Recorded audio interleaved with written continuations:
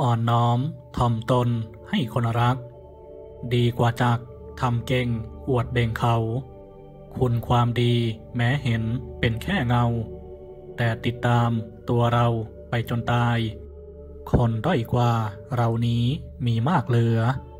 คนเขาเหนือกว่าเราก็มีถมอย่าเย่อหยิ่งทอระนง มัวหลงงม อย่าหลงชมว่าตัวเด่นจะเป็นภัย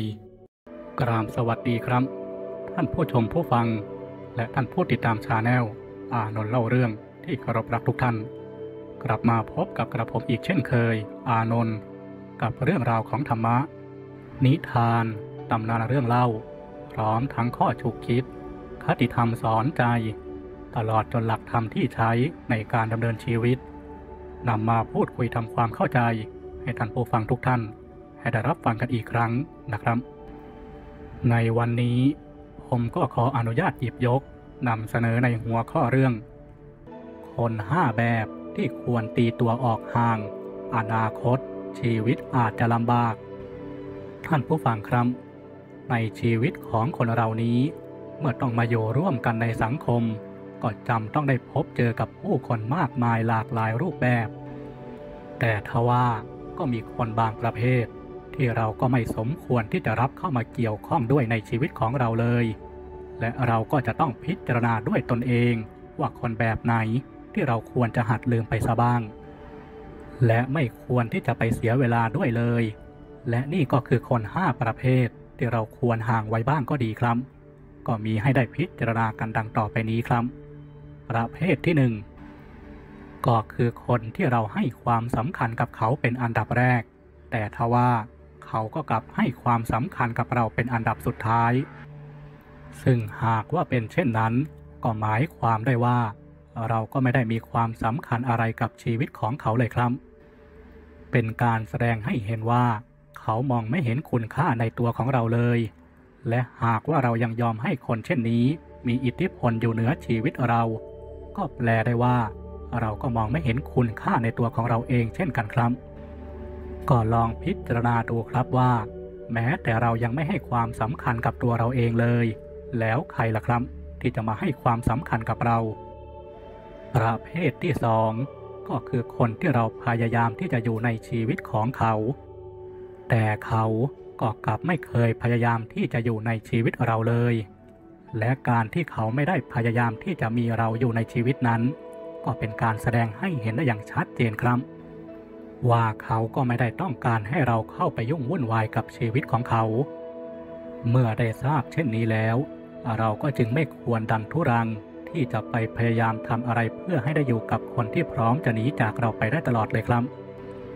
ก็หากว่าทำเช่นนั้น มันก็ไม่คุ้มกันเลย ฉะนั้นก็อย่าไปเสียแรงไปมัวเสียเวลาผิดคน ถอยออกมามันก็จะเป็นการดีกว่าครับ ประเภทที่สาม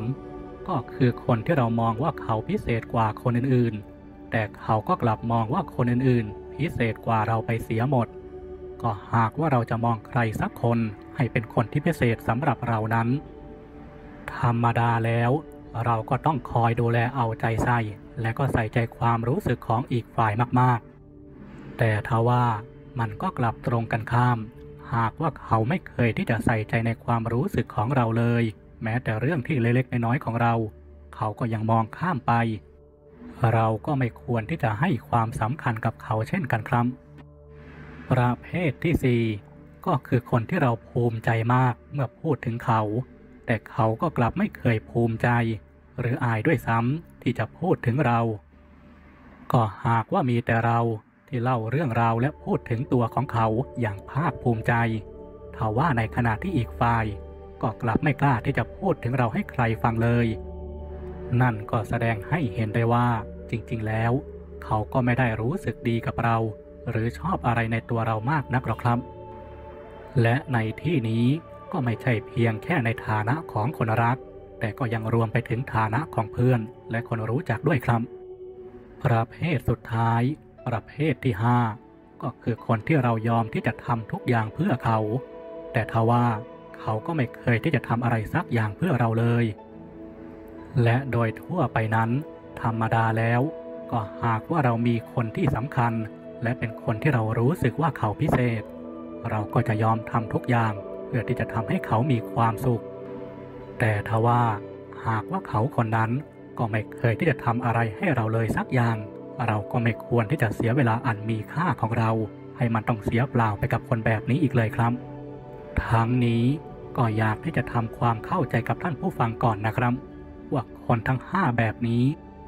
ก็ไม่ใช่ว่าเขาจะเป็นคนที่ไม่ดีไปเลยเสียสัทีเดียว เพียงแต่เขาแค่ไม่รัก และไม่แคร์ไม่ใส่ใจเราก็เท่านั้นเองครับ ถ้าเป็นไปได้นั้น ก็ไม่ควรที่จะเก็บคนเช่นนี้ไว้ใกล้ตัว เพราะก็มีแต่จะทำให้เราต้องเสียเวลาในชีวิตไปอย่างเปล่าประโยชน์ครับ ก็อยากที่จะให้เราได้ใช้เวลาที่มีค่าของเรา ให้คุ้มค่าไปกับคนที่เรารัก และรักเราจริงๆ จะดีกว่าครับ ก็ขอฝากเอาไว้ครับว่า คนที่คู่ควรจะได้รับเวลาของเราไปนั้น ก็ไม่ควรที่จะเป็นคนที่ไม่เคยเห็นค่าของเราเลยครับ โอกาสต่อจากนี้ ผมก็ขอนำเสนอในส่วนเรื่องราวที่ผมก็เห็นว่าจะเกี่ยวเนื่องเอื้อประโยชน์ต่อกันนะครับ ในครั้งนี้ กับหัวข้อเรื่อง 5 วิธีวางตัวแบบถ่อมตน แต่ไม่อ่อนแอ ใครเห็นก็ต้องรัก ท่านผู้ฟังครับ เชื่อว่าธรรมดาของคนเราโดยมากนี้ ก็คงจะไม่มีใคร ที่อยากจะถูกมองว่าเป็นคนโอ้อวด หลงตัวเอง ก็เพราะว่าคนเหล่านี้ ก็มักจะเป็นที่น่ารังเกียจและก็คงไม่มีใครเขาอยากจะคบอยากจะสมาคมด้วย แต่เมื่อพอวางตัวตรงกันข้าม บางครั้งก็อาจจะดูเป็นคนที่ยอมผู้อื่นง่าย ๆ แบบที่ไม่ว่าใครจะว่าอะไรก็ว่าตามโดยเพราะอยากจะเป็นคนที่อ่อนน้อมถ่อมตน แต่ก็กลับกลายเป็นว่า ก็ถูกมองว่าเป็นคนที่อ่อนแอ ดูไม่ค่อยจะเข้มแข็ง และก็คิดเองไม่เป็น ฉะนั้นถ้าหากว่าเราอยากจะเป็นคนที่อ่อนน้อมถ่อมตนที่ไม่ดูอ่อนแอ และไม่ว่าใครเห็นก็เอ็นดู ก็ลองมาพิจารณาจาก 5 ข้อดังต่อไปนี้ดูครับ ข้อที่หนึ่งไม่เกี่ยงงานเล็กๆ น้อยๆ แม้ว่างานนั้นจะเป็นงานของคนที่เขาก็อาจจะอยู่ในระดับตำแหน่งที่ต่ำกว่าเรา หรือใครๆ ก็มองว่างานแบบนี้เด็กมัธยมก็ทำได้ ก็ขอให้จงทำมันด้วยตัวเอง เพราะการทำเช่นนั้นก็แสดงให้คนรอบข้างเขาได้เห็นว่า เราก็คือคนของทุกคน และก็จะแสดงให้เห็นว่าเราก็เต็มใจทำงานทุกอย่าง เพื่อผลประโยชน์ของส่วนรวม เมื่อเราได้ทำงานที่นอกเหนือความรับผิดชอบ ก็อย่างเช่น ช่วยลูกจ้างตรวจเช็คคำสั่งซื้อ ช่วยลูกจ้างแพ็คของหีบห่อ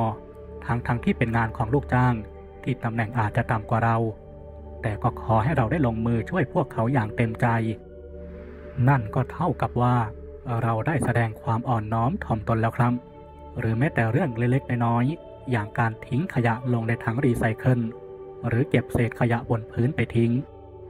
การกระทำที่ถูกต้องของเรา โดยการทำเพื่อสังคมส่วนรวม ก็จะทำให้ผู้พบเห็น มองว่าเราเป็นคนที่จิตใจดีและไม่เย่อหยิ่งอีกทั้งยังจะเป็นแรงบันดาลใจให้คนอื่นได้ทำตามด้วยครับ เพราะเมื่อคนคนหนึ่ง ยอมเสียสละตัวเองเพื่อประโยชน์ของผู้อื่น หรือสังคมโดยรวม เราก็จะรู้สึกซาบซึ้ง เพราะเราสามารถสัมผัสได้ถึงคุณงามความดีของเขา ที่เขาได้ตั้งใจทำจริงๆ ฉะนั้นแล้วสิ่งหนึ่งที่สำคัญของการเป็นคนอ่อนน้อมถ่อมตน ก็คือการทำเพื่อส่วนรวม โดยไม่หวังผลประโยชน์ แล้วคนอื่นก็จะชื่นชอบเราโดยอัตโนมัติครับ ข้อที่สองเมื่อผิด ก็ยอมรับผิดด้วยใจจริง สิ่งที่เรียบง่ายและส่งพลังมากกว่าคำชม ก็คือคำว่าขอโทษ เวลาที่เราได้ทำผิดพลาด โดยต้องพูดอย่างสำนึกในความผิดนั้นจริง ๆ และก็พร้อมที่จะปรับปรุงเปลี่ยนแปลงตัวเองไม่ให้เกิดข้อผิดพลาดซ้ำสองอีก อีกสิ่งที่เราควรจะทำนั้น ก็คือต้องยกความดีความชอบให้กับคนที่เป็นฝ่ายถูกอย่างจริงใจ ไม่ใช่การประชดประชัน และถ้าหากว่าความผิดพลาดนั้นเกิดจากลูกค้า หรือคนที่เราเกรงใจไม่กล้าที่จะพูดตรงๆ ว่านั่นก็เป็นความผิดของเขา แม้จะเป็นเรื่องที่เล็กๆน้อยๆแต่ก็อย่าพูดไปว่าเป็นความผิดของเขา ให้เราเป็นฝ่ายขอโทษที่ทำให้อีกฝ่ายลำบาก แต่เราจะต้องอธิบายขั้นตอนที่มันเกิดความผิดพลาด โดยที่ไม่โทษอีกฝ่าย ก็อาจจะบอกว่าเป็นความผิดพลาดที่อาจเกิดจากตัวเราเอง ไม่ได้อธิบายให้อีกฝ่ายอย่างชัดเจน แบบนี้อีกฝ่ายก็จะไม่รู้สึกว่าเรากำลังโยนความผิดให้ และปิดท้ายด้วยการบอกว่า เรากำลังแก้ไขปัญหาข้อผิดพลาดนี้อย่างไร และทำให้เขามั่นใจว่า เหตุการณ์แบบนี้จะไม่เกิดขึ้นอีก เมื่อเราได้พูดแบบนี้ อีกฝ่ายก็จะไม่เสียหน้า และก็รู้สึกว่าเราช่างเป็นคนที่อ่อนน้อมถ่อมตนจริง ๆ ครับ ข้อที่ 3. อย่าทำตัวเป็นผู้รู้ไปซะทุกเรื่อง และหลายครั้งที่การทำตัวเป็นคนฉลาด มันก็ไม่ได้ช่วยให้เราเป็นคนที่น่ารักน่าเอ็นดูสักเท่าไหร่หรอกครับ แต่ในที่นี้ก็ไม่ได้หมายความว่าเราจะต้องไปทำตัวแกล้งโง่หรอกนะครับ ก็ขอเพียงแค่ว่า หากว่าเราไม่ได้รู้จริง ๆ เกี่ยวกับคำตอบของคำถาม ก็อย่าคิดคำตอบขึ้นมาเอง เพียงแค่เราตอบว่าไม่ทราบ ไม่รู้ตอบไปตามตรงครับ พูดง่าย ๆ ว่าไม่ทราบ แต่ฉันจะพยายามหาคำตอบมาให้นะ แล้วก็ทำตามที่พูด โดยก็อาจจะสอบถามจากผู้ที่เกี่ยวข้องในเรื่องนั้นๆ แล้วจึงค่อยมาแจ้งคำตอบกับอีกฝ่าย เมื่อเราได้ทำแบบนี้ นอกจากจะดูเป็นคนที่ไม่อวดฉลาดแล้ว เราก็ยังจะดูเป็นคนที่ใฝ่หาความรู้อีกด้วยครับ ข้อที่ 4 เมื่อทำผิดพลาดจงยิ้มให้กับตัวเอง ธรรมดาของคนเราโดยมากนี้ เมื่อทำผิดพลาด หลายคนโทษตัวเอง บางคนก็กลับไปโทษผู้อื่นอย่างเอาเป็นเอาตาย แต่ถ้าอยากจะดูเป็นคนที่อ่อนน้อมถ่อมตน เมื่อทำผิดพลาด ก็อย่าทำเป็นไม่รู้ไม่ชี้ หรือทำเป็นเรื่องที่ไม่เคยเกิดขึ้น แค่ยิ้มและหัวเราะให้กับข้อผิดพลาดนั้นก็พอแล้วครับ การหัวเราะเยาะตัวเองก็ถือได้ว่าเป็นอีกหนึ่งวิธีการที่ยอดเยี่ยม ในการทำให้ใครก็ตาม ก็จะรู้สึกชอบเราครับ เมื่อเราได้แสดงให้เห็นว่า เราก็ไม่ได้จริงจังกับตัวเองมากจนเกินไป พวกเขาก็จะรู้สึกว่าเราเป็นคนที่อยู่ด้วยแล้วสบาย อยากที่จะอยู่ใกล้ชิด และก็อยากอยู่ใกล้ๆเรามากขึ้น ก็เพราะไม่มีใครชอบคนขี้อวด ไม่อยากอยู่ใกล้กับคนที่เอาแต่มองหาความสมบูรณ์แบบ อยู่กับคนพวกนี้ก็มีแต่จะต้องรู้สึกกดดัน ธรรมดาของคนเราโดยมากนี้ เราก็จะรู้สึกชื่นชม และก็อยากจะอยู่ใกล้กับคนที่เขาไม่อวดดี ไม่คิดถึงแต่เรื่องของตัวเอง ปล่อยวางได้ง่าย ๆ ฉะนั้นแล้ว การแสดงให้เห็นว่าเราหัวเราะกับความผิดพลาดได้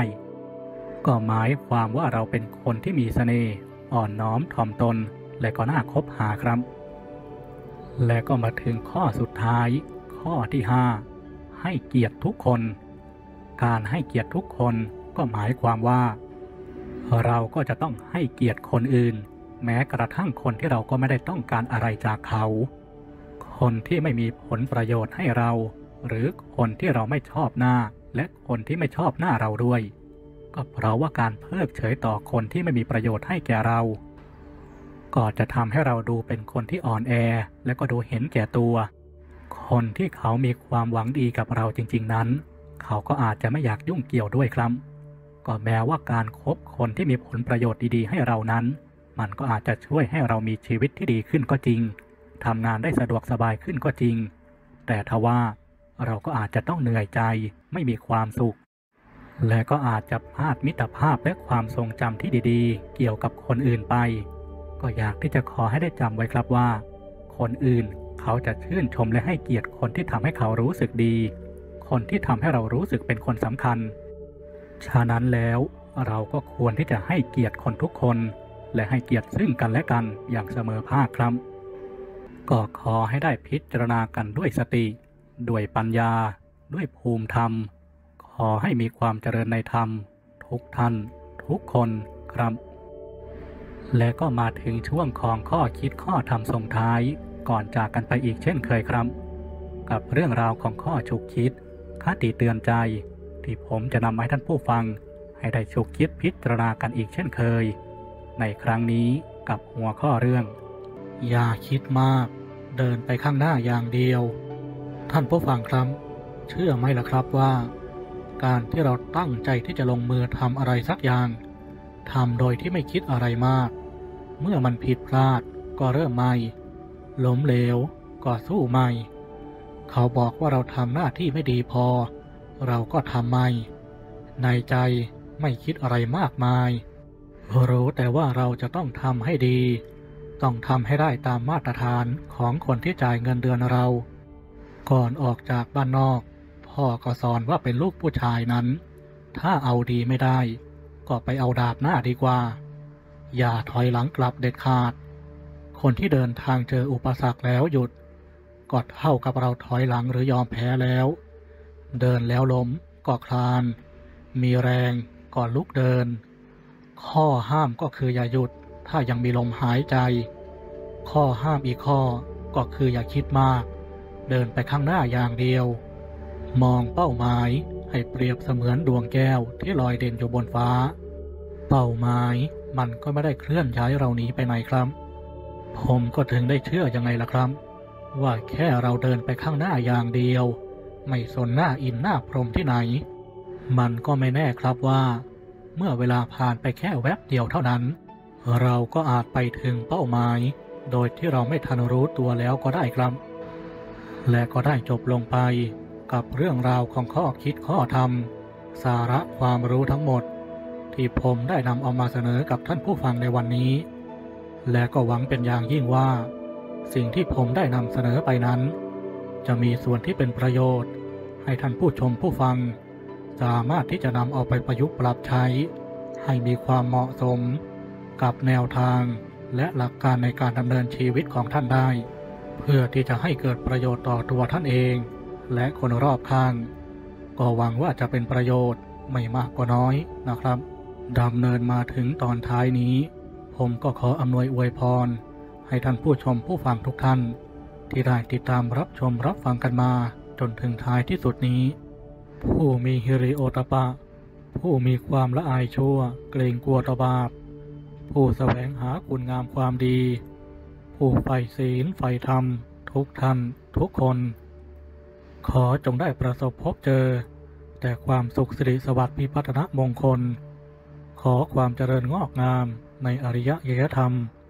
ความสงบเยือกเย็นแห่งจิตแห่งใจ และความผาสุกทุกประการ ขอจงได้บังเกิดมี แก่ท่านผู้ชมผู้ฟัง ทุกท่านทุกคนนะครับ สุดท้ายนี้ หากว่ามีสิ่งหนึ่งสิ่งใดที่ขาดตกบกพร่อง ผิดพลาดตกหล่นประการใด กระผมอานนท์ก็ต้องกราบขออภัยท่านผู้ฟังไว้ณที่นี้ด้วย และถ้าหากว่าท่านผู้ชมผู้ฟัง รับชมรับฟังแล้วชื่นชอบ ก็สามารถที่จะกดไลค์ กด Subscribe กดแชร์ กดติดตาม เพื่อเป็นกำลังใจให้กับกระผมอานนท์ได้ และสามารถกดที่รูปกระดิ่ง เพื่อรับชมคลิปวิดีโอใหม่ๆ ของกระผมอานนท์ได้ก่อนใครสำหรับคลิปวิดีโอนี้ ก็ต้องขอลากันแต่เพียงเท่านี้ พบกันใหม่ในคลิปวิดีโอหน้า โปรดได้รับการขอบพระคุณจากกระผมอานนท์ ขอบพระคุณครับ และก็ได้จบลงไปกับเรื่องราวของข้อคิดข้อธรรม สาระความรู้ทั้งหมด ที่ผมได้นำเอามาเสนอกับท่านผู้ฟังในวันนี้ ก็หวังเป็นอย่างยิ่งว่า สิ่งที่ผมได้นำเสนอไปนั้น จะมีส่วนที่เป็นประโยชน์ ให้ท่านผู้ชมผู้ฟัง สามารถที่จะนำเอาไปประยุกต์ปรับใช้ ให้มีความเหมาะสมกับแนวทางและหลักการในการดำเนินชีวิตของท่านได้ เพื่อที่จะให้เกิดประโยชน์ต่อตัวท่านเอง และคนรอบข้าง ก็หวังว่าจะเป็นประโยชน์ไม่มากก็น้อยนะครับดำเนินมาถึงตอนท้ายนี้ ผมก็ขออำนวยอวยพร ให้ท่านผู้ชมผู้ฟังทุกท่าน ที่ได้ติดตามรับชมรับฟังกันมาจนถึงท้ายที่สุดนี้ ผู้มีฮิริโอตปะ ผู้มีความละอายชั่ว เกรงกลัวต่อบาป ผู้แสวงหาคุณงามความดี ผู้ใฝ่ศีลใฝ่ธรรม ทุกท่าน ทุกคน ขอจงได้ประสบพบเจอ แต่ความสุขสิริสวัสดิ์พิพัฒนมงคล ขอความเจริญงอกงาม ในอริยะยธรรม ความสงบเยือกเย็นแห่งจิตแห่งใจ และความผาสุกทุกประการ ขอจงได้บังเกิดมีแก่ท่านผู้ชมผู้ฟัง ทุกท่าน ทุกคนนะครับ สุดท้ายนี้ หากว่ามีสิ่งหนึ่งสิ่งใดที่ขาดตกบกพร่อง ผิดพลาดตกหล่นประการใด กระผมอานนท์ก็ต้องกราบขออภัยท่านผู้ฟังไว้ณที่นี้ด้วย และถ้าหากว่าท่านผู้ชมผู้ฟัง รับชมรับฟังแล้วชื่นชอบ ก็สามารถที่จะกดไลค์กด Subscribe กดแชร์ กดติดตาม เพื่อเป็นกำลังใจให้กับกระผมอานนท์ได้ และสามารถกดที่รูปกระดิ่ง เพื่อรับชมคลิปวิดีโอใหม่ๆ ของกระผมอานนท์ได้ก่อนใครสำหรับคลิปวิดีโอนี้ก็ต้องขอลากันแต่เพียงเท่านี้ พบกันใหม่ ในคลิปวิดีโอหน้า โปรดได้รับการขอบพระคุณจากกระผมอานนท์